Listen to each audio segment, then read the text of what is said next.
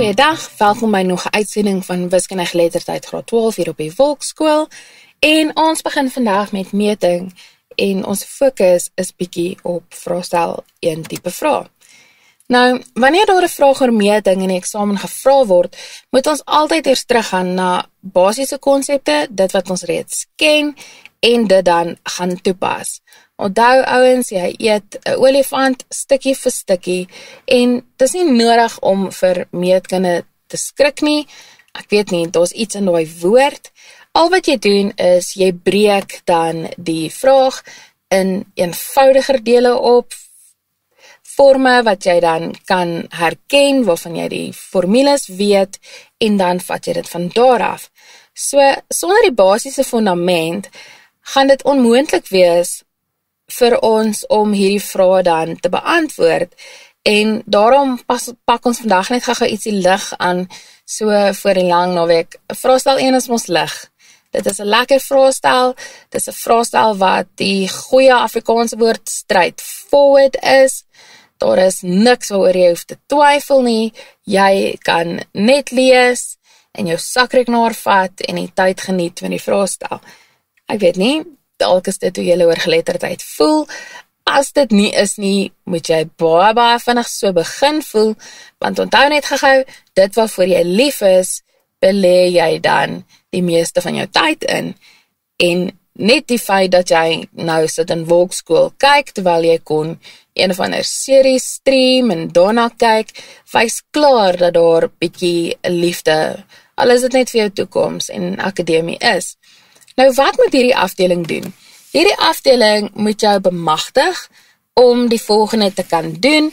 Hierdie word dan ook vir ons voorgeskryf deur die onderwysdepartement wat ons dan vir die matrikulante moet leer.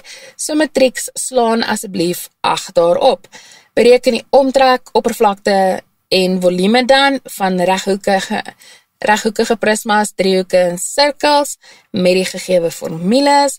Gebruik die gegeewe formules om die oppervlak van 'n reghoekige boks en 'n silinder te kan bereken.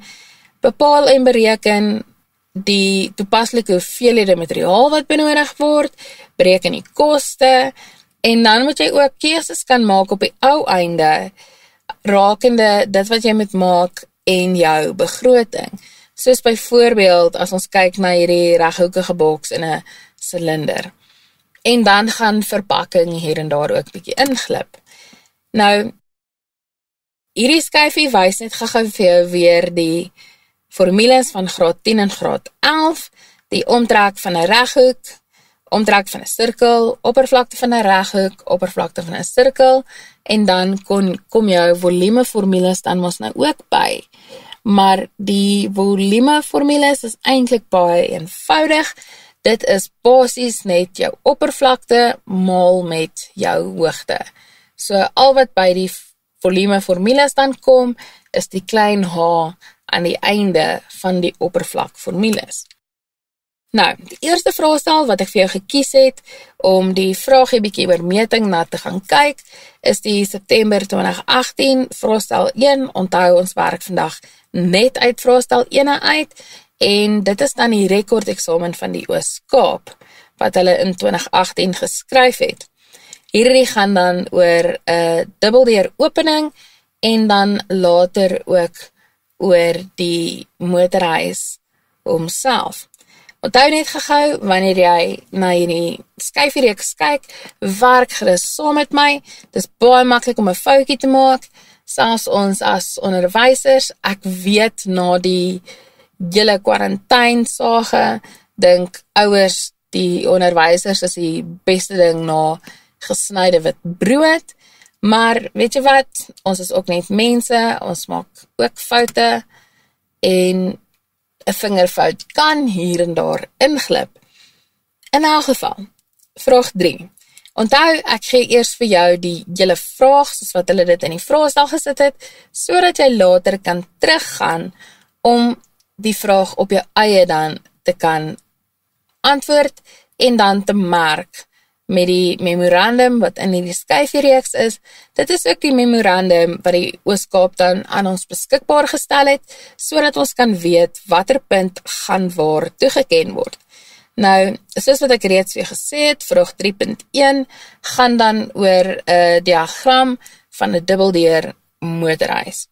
Nou, onthou gehou as ons na die skets kyk, kan ons sien daar's 'n paar dele wat dan gebou gaan word met stene en dan gaan hulle 'n deur insit. Wat gee hulle vir ons? Hulle gee vir ons die afstand dan daar tussen die muur en die deur. Hulle noem hom dan B.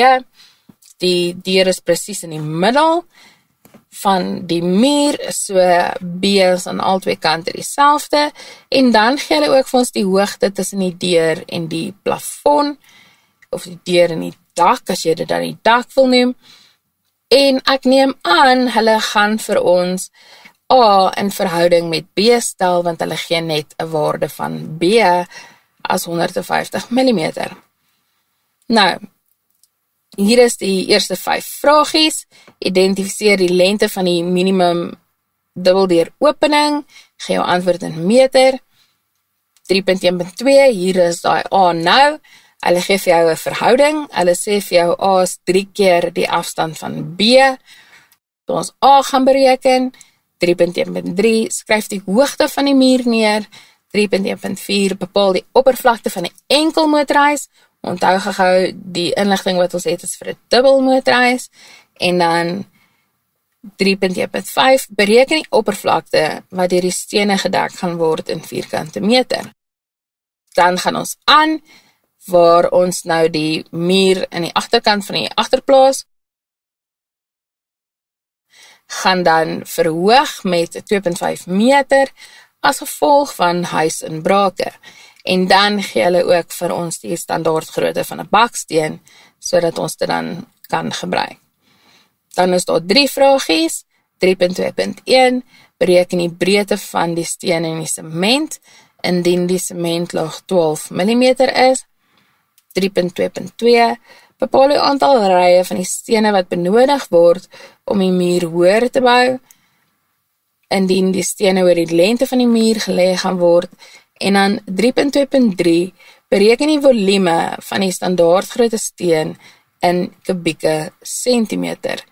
Nou onthou daar gaan 'n herleidingkie kom want die dimensies van die baksteen word vir ons hier gegee in millimeter. Kom ons gaan kyk gou-gou. 3.1.1 identifiseer die lengte van die minimum dubbeldeur opening en gee jou antwoord.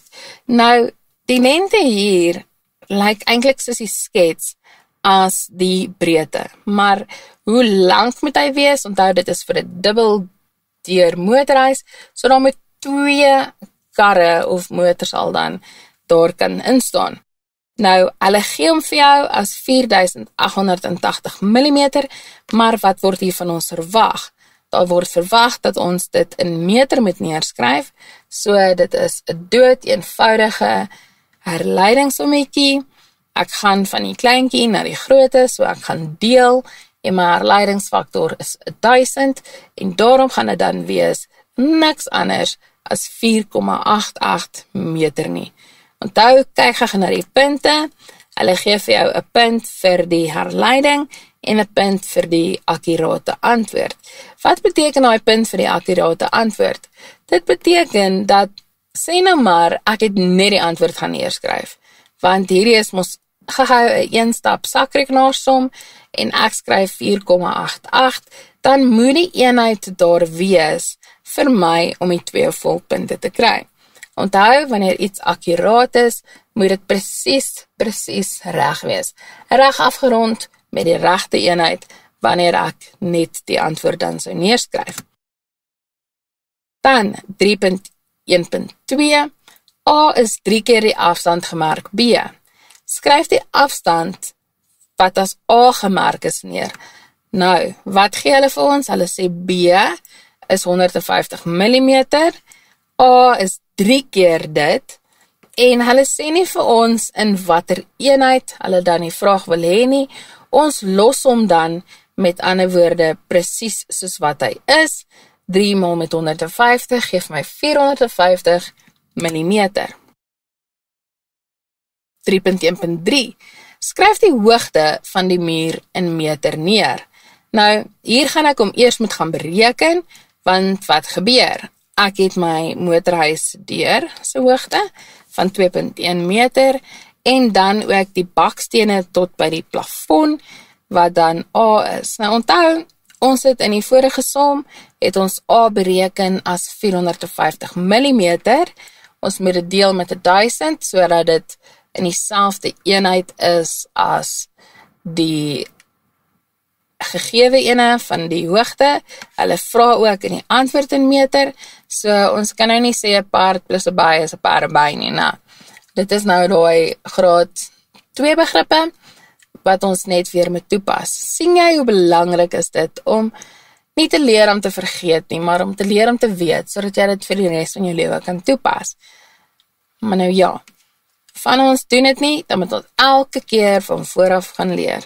Ouens, jy mors tyd. Leer asseblief sodat dit kan deurdring na jou toe, dat jy dit net kan herroep en kan neerpen. Dit spaar jou baie tyd en dit maak dit bitter baie minder as jy kan sê bitter baie minder gespanne wanneer jy dan daai belangrike toets aan die einde van die jaar gaan skryf. So. Gou wat het ons gedoen? Ons het gesê die 2.1 meter daai deel plus dan die 0,45 meter en dit gee vir my 'n totaal van 2,55 meter. Kyk gou weer, Ek het 'n punt gekry vir die feit dat ek herlei het. Ek het 'n punt gekry vir die feit dat ek daai vereenvoudig het. En dan as ek daai by een van hierdie twee punte 'n fout gemaak het, sou ek nog steeds 'n punt gekry het vir my antwoord met my berekeninge dan reg sou wees tot op daai punt. Nou sê hulle by 3.1.4 Bepaal die oppervlakte van 'n enkel motorhuis se deuropening indien die lengte die helfte van die dubbeldeur se motorhuisopening is en die hoogte dieselfde sal bly. Ons moet nou oppervlakte gaan bereken, so dit gaan wees lengte maal met breedte, maar ons lengte moet ons eers gaan van vooraf uitwerk. Nou, wat gebeur? Daar is die hoogte, hy bly dieselfde, die 2.1 meter. Al wat ek nou gaan doen is ek gaan die lengte van 4880 gaan ek deel deur 2 en dan gaan ons ons antwoord in vierkante meter moet gee. So daar's eers 'n herleiding. 4.88 gedeel deur 2 om dan 'n enkel motorhuis deur se lengte te kry maal met die oorspronklike hoogte van 2.1 gee vir my 5,124 vierkante meter. Dan 3.1.5 Bereken die oppervlakte wat deur die stene gedek word in vierkante meter. Jy mag die volgende formule gebruik. Oppervlakte is lengte maal breedte. Maar nou, as ons na die skets gaan kyk hier onder aan die regterkant, sal jy sien dat die hele muur nie met stene bedek gaan word nie. Daar is eintlik 'n opening waar daar 'n deur gaan inkom. Met ander woorde, ek moet eers die oppervlakte van die muur gaan bereken en dan die oppervlakte van die deur en dan die twee van mekaar gaan aftrek. Ek het hom vir jou gemerk in die kleure sodat jy kan sien wat ons doen. So, die oppervlakte van die motorhuis muur gaan dan wees 2,55 maal met die 5,18. Onthou gehou, dit is van daar tot daar en dan van links na regs minus dan die oppervlakte van die dubbeldeur baie eenvoudig daai twee is ons vir ons gegee.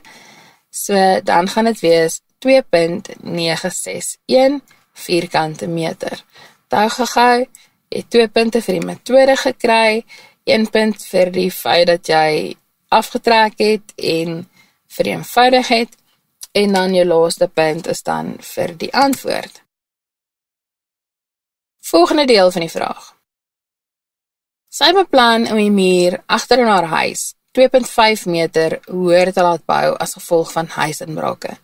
Die standaardgrootte van die steen wat gebruik word is 230 mm by 110 mm by 76 mm. Bereken die breedte van die steen en die sement indien die sementlaag 1 of althans 12 mm is wanneer die stene gelê word. Nou, wat hulle basies hier van jou verwag volgens die memorandum, het ek vir jou in 'n sketsie gaan sit. Daai is dan die baksteen met die 12 mm aan elke kant. So dit is kom hulle sê 12 x 2 plus dan die 76 mm. Daar het hulle hom vir jou gegee, gee vir jou 100 mm. Maar eintlik tegnies gesproke, as ons nou regtig wil tegnies raak, is dit mos nou net die baksteen plus 1 van die 12 mm, want die ander 12 mm kan na die vorige baksteen gevoeg word. So, as jy geskryf het 76 plus 12 is dan 88 mm, sal dit ook reg wees. Nou, 3.2.2. Bepaal die aantal rye van stene wat benodig word om die muur hoër te bou. Indien die stene oor die lengte van die muur gelê gaan word. So, wat moet ek doen? Ek moet dan die hoogte van die muur gaan vat. Ek moet dit dan deel deur die hoogte van 'n baksteen en dan afrond tot die aantal vol rye. Nou, soos wat ek gesê het in vraag 3.2.1 kan jy die hoogte as 88 vat want dit is regtig in effek reg. Onthou net gou as ek 12 mm aan elke kant sit, beteken dit daar gaan dubbel laag sement wees en jy gaan net eenvoudig jou geld mors omdat jy nie common sense gebruik nie. Maar wat sê hulle van common sense? Common sense is not always that common, nee. In elk geval. Die hoogte het ek dan nou gaan herlei na millimeter toe omdat die steen in millimeter is. So daarom gaan dit wees 2500 gedeel deur 88 gee dan vir my 28 rye. Nee, ek het nie die afgerond teken gebruik nie. Die is gelyk aan teken gebruik. Hoekom? Want hulle vra die aantal rye stene. Onthou, eintlik is die antwoord 28.41, maar daai .41 maak nie 'n vol ry nie. Wat hulle daar gaan doen, is hulle gaan 10 teen 1 die sement hier en daar bietjie dikker maak om die muur dan tot op die hoogte te kry wat hulle dit wil hê. Volgende 3.2.3 Bereken die volume van die standaard grootte steen in kubieke sentimeter. So wat moet ons hier gegaan doen? Ons moet al daai dimensies wat hulle vir ons gee, moet ons gaan herlei na sentimeter toe. Daai gaan wees dan 7.6 want wat het ek gedoen? Ek het gedeel met 10. Daai word dan 23 en daai 11. So dan is dit 23 maal 11 maal 7.6 en dit gee vir jou 1922,8 kubieke sentimeter. Volgende vraagie wat ek vir jou voorberei het is September 2016 weer eens 'n uh, rekordeksamen want dit is immers die groot eksamen wat jy volgende gaan skryf na die Junie ene en hy kom weer van die Oos-Kaap af. Hier is dit soos wat hulle gevra het in daai heel eerste skyfie waar ons dan die silinder en die reghoek met mekaar gaan vergelyk. Weer gehou die hele vraag. Netjie is 'n kersmaker en verkoop die kersse aan die mense waar se bly en ook die kerk. Dan gee hulle vir jou 'n herleiding vir kapasiteit na volume. Hulle gee vir jou die dimensies van die silindriese kers, kyk daar, dit is bietjie belaglik, maar dit beteken daar kom 'n herleiding 0,025 meter is die radius dan en dan gee hulle ook die dimensies van die reghoekige kers. Bestudeer die prente van die verskillende kersse hierbo en beantwoord die volgende vraag. Bitter vinnig genoem 2.1.1 is die volume van die waks wat benodig word vir 'n silindriese kers en 2.1.2 die 5 liter wat sy smelt, wil hulle weet hoeveel silindriese kersse sy dan weer kan maak. Daarna gaan ons bietjie kyk na die kersgewig. van 'n silindriese kers by 2.1.3 en dan by 2.1.4 gaan ons die totale buiteoppervlak van die reghoekige kers bereken.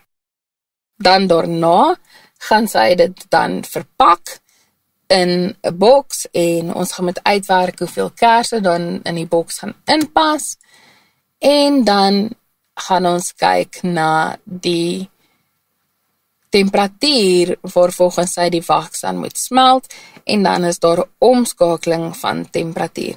Onthou dan dat omskakeling en herleidings ook deel is van meting en dit is regtig die basiese goedjies wat jy onder die knie moet kry sodat jy die fundament het van hierdie vraag.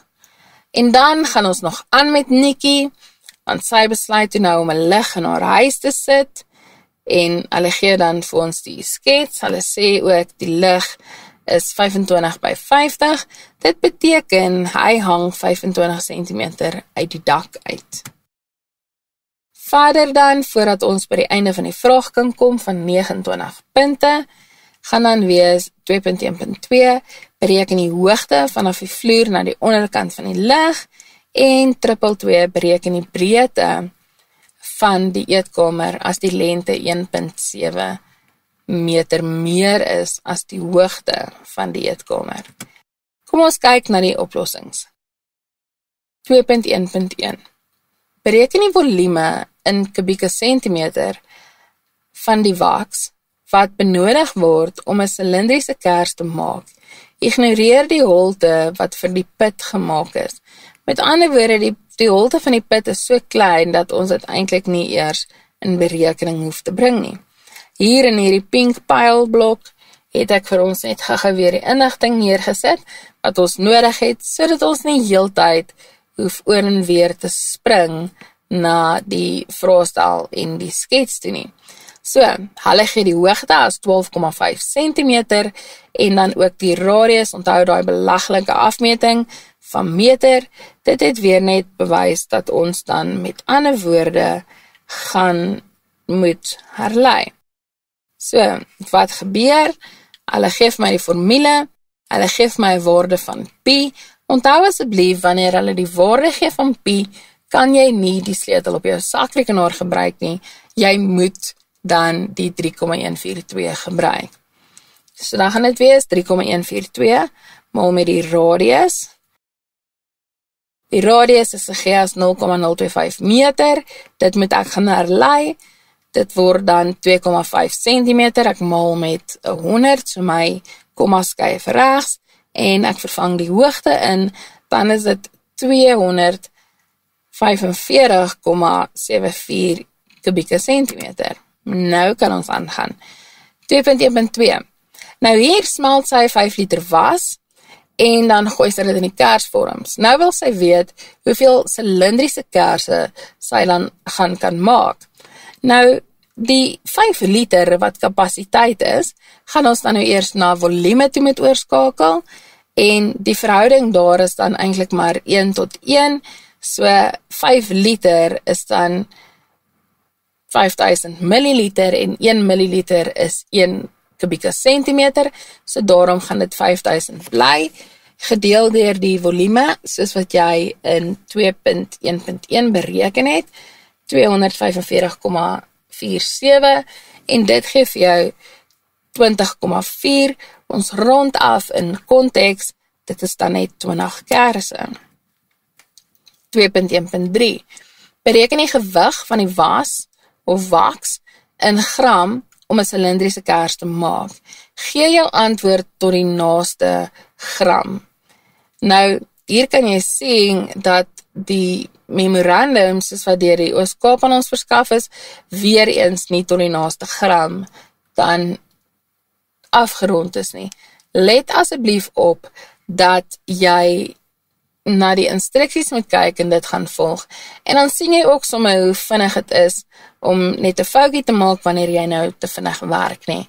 Want dit is baie lekker om te kan sien, "Yes, ek weet wat hier gebeur." En dan trek ek weg asof ek 'n uh, koek uit my kop uitbak want ek pak dit nou al vir hoe oud is jy? 18 jaar en ek ken dit uit my kop uit, kom ek kry net hierdie ding oor en verby. Wat gebeur dan?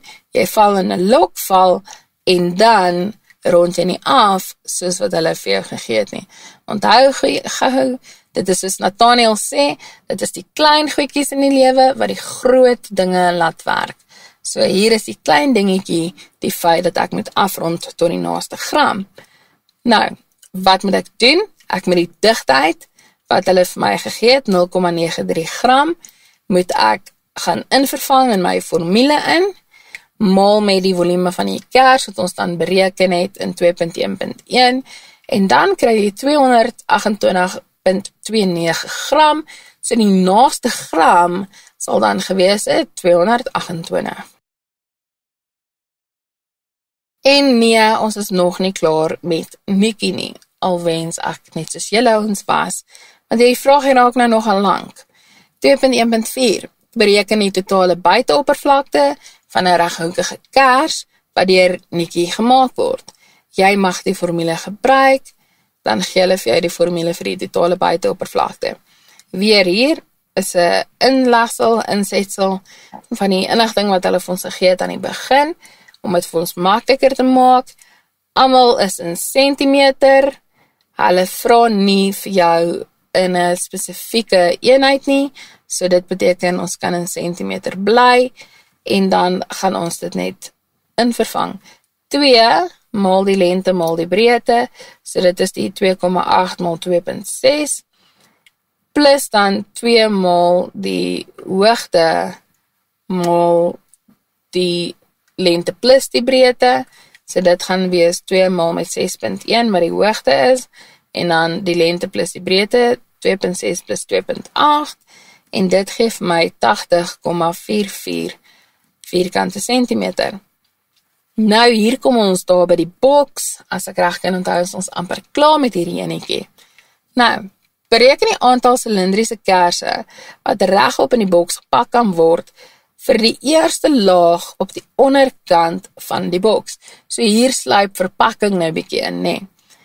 Nou moet ons gaan kyk, wat is die hoogte van die boks? Wat is die breedte van die boks? Wat is die lengte van die boks? En dit moet ons dan gaan vergelyk met die dimensies van die silindriese kersse. So nou die deursnit wat hulle vir ons gegee het, gaan dan wees die radius 2,5 maal 2 is 5 cm. So die aantal kersse oor die lengte van die boks wat dan 15 cm is, gaan dan wees 15 cm gedeel deur die deursnit van die lengte of die kers dan so dan gaan dit wees 15 gedeel deur 5 gee vir my 3 en dan die aantal kersse oor die breedte weer 15 gedeel deur 5 gee ook vir my 3 so dit beteken 3 maal 3 is 9 daar kan dus 9 kersse wees as jy dit nou so sou verpak soos in hierdie skets. Hier is die termometer nommer A skryf nou die temperatuurlesing in van die termometer hierbo neer. Ek het hom vir jou aan die linkerkant gesit om die skyfie se oppervlakte ten volle te kan benut.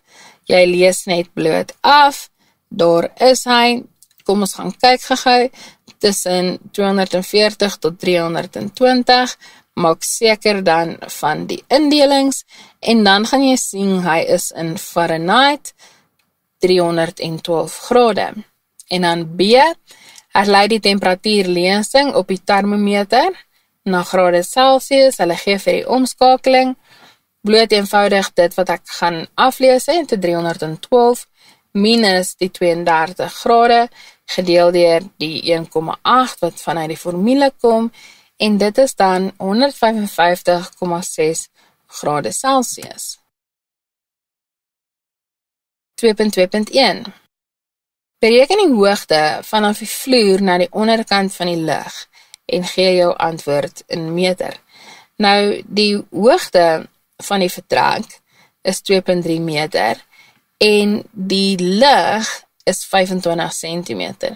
So nou wil hulle weet van daar waar die lig eindig tot op die vloer, wat is die hoogte?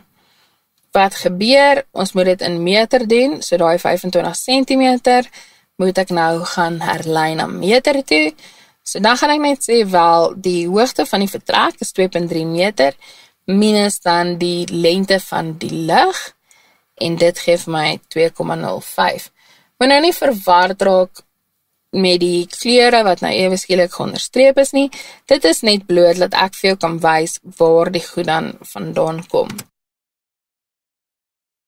Dan vraag triple 2.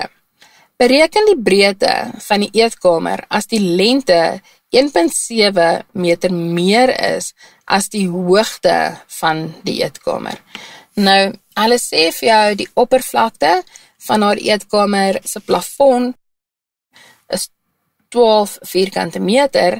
Nou, dit beteken die oppervlakte van die vloer moet ook 12 vierkante meter wees. Nou, wat hulle nou hier vir jou gee, is hulle gee vir jou die oppervlakte, hulle gee vir jou die lengte en ek moet die breedte gaan bereken. Dit beteken ek moet die formule neerskryf, in vervang wat ek het en dan manipuleer om die breedte te kry. So, wat gebeur die lengte van die eetkamer is dan 1.7 meter meer as die hoogte. So dan gaan dit wees die hoogte 2.3 plus die 1.7 meter gaan van die lengte gee en dit gaan dan wees 4 meter. Die oppervlakte van die vloer is dan 12 vierkante meter en ek moet B kry. So, wat gebeur? Ek moet B alleen kry. Ek moet ontsla raak van daai 4 meter. So dan gaan ek sien dat B 3 meter lank dan is. Onthou asseblief om nie die vierkante meter hier te gebruik nie, want dit is slegs een dimensie, een afmeting. Die lengte maal die breedte gee vir my die antwoord in vierkante meter. So nie die lengte of die breedte self se eenheid nie dit bly dan meter. Dit sê hier is dan nou nog 'n voorbeeldjie. Hierdie een is 'n baie vinnige een, dit kan ek jou beloof.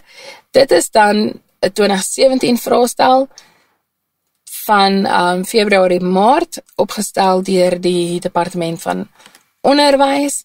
Dit is dan ook dan die herexamens, nê. Nee, wat dan lyk asof dit oor atletiek gaan gaan. Nou, jammer vir hierdie dowwe prentjie. Onthou, ek kan net werk met wat ek het en dit beteken die vraestel is bietjie dof ingescan. Nou, 2.3. Die podium by atletiek byeenkomste vir die eerste, tweede en derde plekke het bestaan uit reghoekige blokke van verskillende hoogtes met vierkantige basisse soos in die skets hieronder getoon. 2.3.1 Bepaal die totale lengte in meter van die podium en 2.3.2 Die verhouding van die hoogtes van hierdie blokke is 5 tot 4 tot 3. Bepaal die ontbrekende waarde C. Nou, daar is C, maar onthou gehou, hier gee hulle vir jou die verhouding eerste, tweede, derde plek, waar as mens na die podium van vooraf gaan kyk, is dit tweede, eerste, derde. So dit beteken jy moet wakker wees wanneer jy dan na die verhouding gaan kyk. En dan gaan ons verder 2.3.3 bereken die volume vir die blok van die eerste posisie en dan 2.3.4 daar gaan ons om nou verf ons verwys terug na daai heel eerste skyfie waar ons hier nou bietjie begin raak aan die analise van of 'n toepassing van die vraag.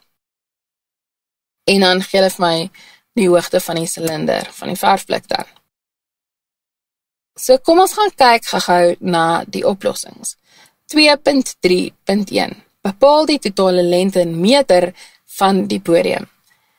Jo, dit voel alweer asof ek hier aan die slaap kan raak, want die meetkunde vrae is nogal lank.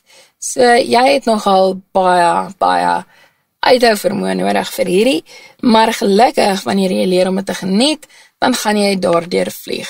Nou die totale lengte baie eenvoudig, Hulle is almal 50 cm lank. So dis 5 uh dis 50 cm maal 3 en dit gee vir jou 150 cm. Maar nou moet ek dit in meter hê. So daar's 'n leiding van deel met 'n 100. So dan is dit 1,5 meter. Dan by 2.3.2 die verhouding van die hoogtes van hierdie blok is dan die eerste, tweede en derde plekke 5 tot 4 tot 3. Bepaal die ontbrekende waarde C. Nou as jy gaan kyk, is C dan die hoogte van die tweede plek se blok. So kom ons gaan kyk wat het ons? Ons het 5 tot 4 tot 3.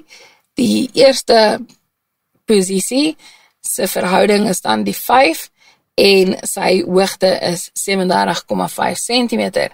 So nou kan jy die lang pad vat deur te sê wel okay, 5 + 4 + 3, so dit gaan wees 5 + 4 is 9 plus 3 is dan 12, so daar's 12 dele en dan die totale deel 4 op 12 maal met die totaal.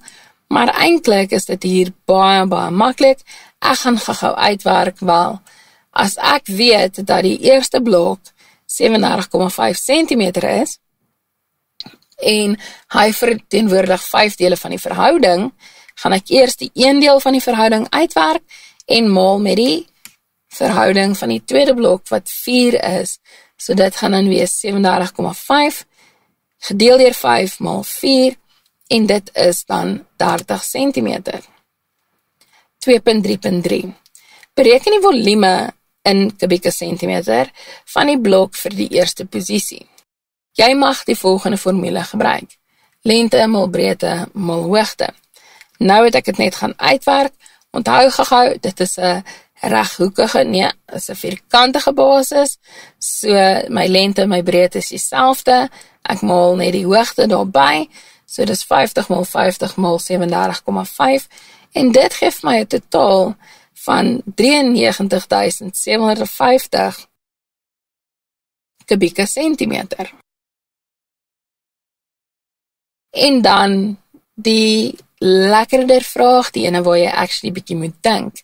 2.3.4. Die verf benodig vir die boonste oppervlak van die podium word in 500 ml silindriese blikke met 'n radius van 3,77 cm verkoop. Die vraag Bereken die hoogte afgerond tot die naaste sentimeter van die silindriese blok. Hulle gee vir jou dan die formule waar hulle dan sê volume gedeel deur pi maal die radius kwadraat en pi is dan 3,142. Nou, ons moet daai 500 ml eers gaan herlei van kapasiteit na volume toe. So wat gaan ek hier moet doen? Dit is eintlik 1 tot 1. So ek gaan dan eers herlei en dan gaan ek in die formule invervang en dan gaan ek afrond soos wat hulle vra. Hulle het gevra dan tot die naaste sentimeter. So dit is dan 500 gedeel deur 3,142 maal met die radius gekwadreer 3,77. Dit gee my 11.196. So ek rond dan af tot die naaste sentimeter wat dan 11 cm gaan wees. Volgende voorbeeldjie is die senior sertifikaat eksamen van 2019 en dit gaan oor speelblokkies. Nou vraag 3, die kleuterskool in Bethlehem het vierkantige blokkies of kibusse hieronder by 'n veiling gekoop. Hulle het 'n sykant lengte van 45 cm. Onthou dis vierkantig, so my lengte en my breedte is dieselfde. En dan is daar ook gaatjies dan in die blokkies en dan wat wil hulle doen met dit? Hulle wil die blokke as stoele vir hulle kinders gebruik dis nou nogal kreatiwiteit op sy maksimum as ek daarna moet dink. Dan 3.1.1 gehou die drie vrae. Hulle wil hê ons moet die blokke nou verf met Dulux se meerdoelige verf, bereken die oppervlakte van een van die aansigte wat nie 'n sirkelvormige gat in het nie. Nommer B toon dat die totale buiteoppervlakte dan daai 11582,869 is en dan nommer C die verf het 'n sprykoers van 1,8 milliliter verf per 15 vierkante sentimeter bereken die totale hoeveelheid verf. Nou 3.1.2 is dan net weer bietjie verder aan van die vraag. Die verf word in 5 liter 5 liter blikke verkoop. Elke blik het 'n radius van 7 cm en 'n hoogte van 35. Nommer A skryf die middellyn van die blik neer en B bereken die hoogte van die verf in die blik. Kom ons gaan kyk gou na die oplossing. Hulle wil die stoele met Dulux meer doelige verf verf en dan wil hulle dit groen verf. Nou, ek het gou-gou weer hier vir ons 'n insetwil ingesit wat vir my dan die afmetings gee. Nou vra hulle vir jou by A bereken die oppervlak in vierkante sentimeter van een van die aansigte van die blok wat nie 'n sirkelvormige gat in het nie. Jy kan die formule gebruik sy maal met sy. Hier kan jy sien as die memorandum ook net so vir ons gee. Ek gebruik hom waar volgens daar gemerk is tydens hierdie vraestel en dit is dan omdat dit 'n vierkant is 45 by 45 so dit gee vir my 2025 vierkante sentimeter. Nommer B. Toon dat die totale buiteoppervlakte gelyk is aan 11582,869. Nou die oomblik wat jy 'n vraag kry wat sê toon aan, moet daar rooi ligte flikker en dit moet klink asof jy die boerpot in die casino gewen het, soos wat daar klok klokkies afgaan in jou kop, want onthou net gehou, omdat jy dit moet aantoon, mag jy dit nie in jou berekening gebruik nie. Dit is so goed soos hulle het eintlik net weer gesê bereken die totale buiteoppervlakte. Jou antwoord moet dan dit wees. Moet dan ook nie net sommer dink jy gaan die nasieners uitvang en jou eie kop se nonsens skryf en dan net daai as finale antwoord nie. Onthou ouens, ons lees actually wat jy skryf en ons wil hê jy moet iets weet. So ons kyk na wat jy doen. Nou, hoe gaan ek daarby uitkom. Ek gaan kyk na die oppervlakte van die sirkel. Ek gaan die radius gebruik as 38 die P dan gebruik as 3,142 en die radius van die gat as 9,5 cm. So, eers gaan ek die area van die gat uitwerk. Dit gaan dan wees P maal met die radius gekwadreer. So dit gaan wees 3,142 maal met 9,5 maal met 9,5. Dit gee vir my 283,5655 vierkante sentimeter. sien jy dat ons die desimale alles hou? Hoekom? Wat is die reël rondom afronding? Ons rond slegs af in die finale stap. Nou, wat gaan dan die area van die blok wees? Dit gaan dan wees wat ons uitgewerk het, daai 2025 maal met die blokke van die 283,5655 maar onthou ons trek dan die twee gate af nê nee. en dit kom dan by 11582,869 vierkante sentimeter uit. Nou, sien Die verf het 'n sprykoers van 1,8 ml per 15 vierkante sentimeter. Bereken die totale hoeveelheid verf afgerond tot die naaste liter wat benodig sal word om 12 stoele met een laag verf te verf.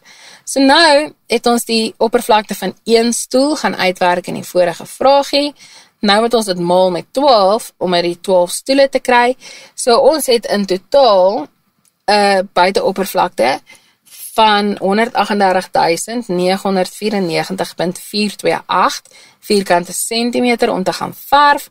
Ons deel dit dan met 15 om die aantal vierkante sentimeters te kry en ons maal dit dan met die spruitkoers. Ons herlei dit ook want ons wil dit in liters hê en dan is dit 17 liter. 3.1.2 Die verf word in 5 liter blikke verkoop en elke blik het 'n radius van 7 cm en 'n hoogte van 35 cm. Nou sê hulle vir jou 5 liter is dieselfde as 5000 kubieke sentimeter. Skryf die middellyn van die blik dan neer. Nou, middellyn is dan bloot eenvoudig die deursnee Nou as die radius 7 is, is die deursnee 2 maal met 7, so dit is dan 14 cm. B bereken die hoogte van die verf in die blik. Jy kan die volgende formule gebruik. Volume van 'n silinder is P maal radius kwadraat maal met die hoogte en P se waarde is dan 3,142. Wat doen ek? Ek vervang in wat ek het ek manipuleer sodat ek die hoogte kan bereken want soos wat jy sien word die oppervlakte gegee eintlik nie die oppervlakte nie die volume. Waar ons nou gewoond is om die volume te gaan bereken gee hulle nou vir ons die formule en die volume en ons moet nou net die hoogte gaan bereken. So wat gebeur? Ek vervang in wat ek het ek manipuleer en dan bereken ek dit en ek rond dit af. So dis 5000 is dan die volume deel met die pi maal die r gedeelte 3,142 maal 7 kwadraat en dit beteken die hoogte is dan 32,48 cm. Dit bring ons dan aan die einde van vandag se les. Sjoggers, dit was nogal 'n lang een, maar dit is omdat jy lekker gaan rus rondom die lang naweek.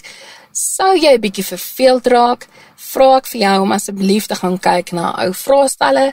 Werk veral aan meting. Ek weet meeste van julle sukkel daarmee en ook met finansies.